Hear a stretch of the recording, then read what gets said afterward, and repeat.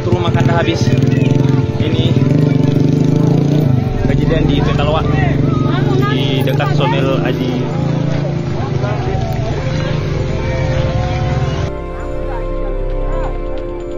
Terbakar lagi.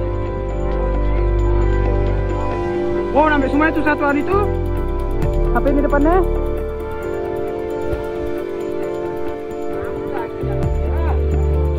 Terbakar lagi. Oh, sampai semua itu satuan itu? HP ini depannya?